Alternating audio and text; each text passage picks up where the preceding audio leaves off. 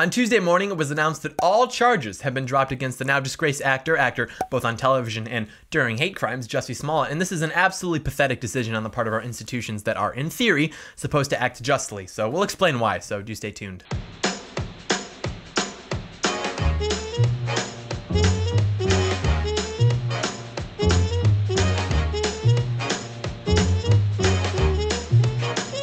John Doyle in. Heck off, commie.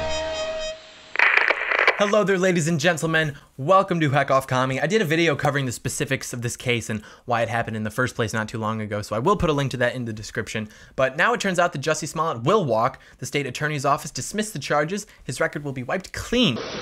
What, like with a cloth or something? Well, no. He doesn't have to worry about the 16 felonies that he was charged with anymore. All he has to worry about is his two days of community service and that, that $10,000 bail payment that will not be reimbursed. Boo hoo. I mean, he gets only 20000 per episode of Empire, but uh, I think he'll be okay in the long run. And I don't know, he avoided prison, so that's pretty cool. But to be fair, this isn't officially over. There could be a federal investigation, there could be lawsuits. But here's the problem the record states that this guy was let off because he just did too much good. He does so much to help the community. Like, okay, but the problem with that is that this guy literally tried to start a race war. This guy staged an attack to further divide the country, to exacerbate tensions between white Americans and black Americans, tensions between Trump supporters and members of the hashtag resistance. And some people have the take of, oh, talk about privilege. This is black privilege at its finest. And that's not correct. The reason that he's getting away with this is not because he's black. Do you think if, if uh, CJ Pearson did this, do you think he'd walk away? Do you think if the Hodge twins did this, they would walk away? No. So uh, it's not that he's black, it's that he's a leftist advocate that's helping to perpetuate the narrative that has poisoned our country. That's what this is about. A black, openly gay guy gets jumped by two white Trump supporters. That's a wet dream for the media. Turns out to be false. Do you really think they're going to throw one of their own under the bus like that? I don't think so. And the Chicago Police Department is absolutely irate, rightfully so. And a retired police chief from the area even came out and said that their department has long been corrupted by politics. So here's the trail. Two weeks ago, it was reported that Tina Tchen, who we'll talk about in just a second, inserted herself into this investigation by texting the Cook County State Attorney Kim Foxx only three days after the incident is said to have occurred, saying that on behalf of the Smollett family, who she knows, she would like to express her deepest concerns. She suggested that Foxx push the Chicago Police Superintendent, Eddie Johnson, and Foxx texted back saying that she did. Uh, Tina Tchen served as an assistant to President Obama and as chief of staff to Michelle Obama, as well as executive director to the White House Council on Women and Girls.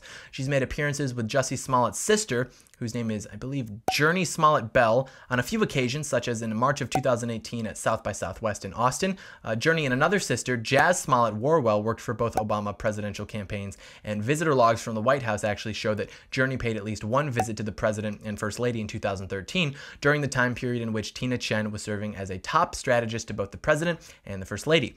Tchen also shoveled more than $200,000 into Obama's campaign in 2008 and coordinated Hollywood celebrities to promote Obama's domestic policy agenda through the taxpayer subsidized National Endowment for the Arts. Given this, given that Jurnee and Tchen are pals, that Tchen and the Obamas are pals, and that Michelle Obama and Jussie are pals, I mean, she hosted him at a musical event in the White House in 2016 and then danced with him on stage at a college signing day event in 2018. You have to wonder is there something fishy going on? Are we being told the truth by our institutions? Are powerful people using their power to promote their agenda? I mean, how do you go from a grand jury indictment to dropped charges in a matter of weeks? The police even said they had enough to convict him. They had text messages, phone records, statements from the two brothers, ride sharing records, security camera footage, and then they were gonna go ahead and just seal all the records of the case. This is so poorly written, like they're not even trying anymore.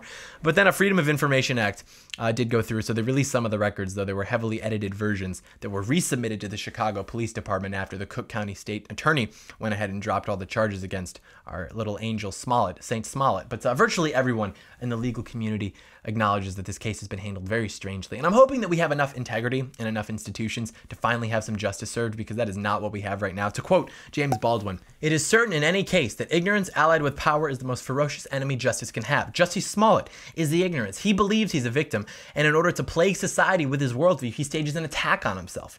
It would seem that he's also allied with power, which of course explains why, according to James Baldwin, justice is not being served here. And since, at least according to Alexander Hamilton, the first duty of a society is justice, we can reasonably conclude from this that the largest threat to the fabric of our society is powerful people with malicious agendas that will happily exploit the ignorance and willing to carry out their agenda for them and then assist them when they are caught because good people acted on behalf of their principles and their allegiance to liberty and justice for all. It's pathetic. Hey guys, if you like this video, give it a thumbs up and leave it a comment right away to help me compete in this algorithm. Please and thank you. Subscribe to the channel if you haven't already. You're going to want to be subscribed because we have big things coming up. We have a live stream debate against a Marxist that picked a fight with me on Twitter coming up pretty soon. Uh, we have protest footage coming up. As you're watching this, probably, I'm actually at the protest, uh, the Trump protest, where people will be hashtag resisting. So that should be fun. But thank you so much for watching, and may God bless America.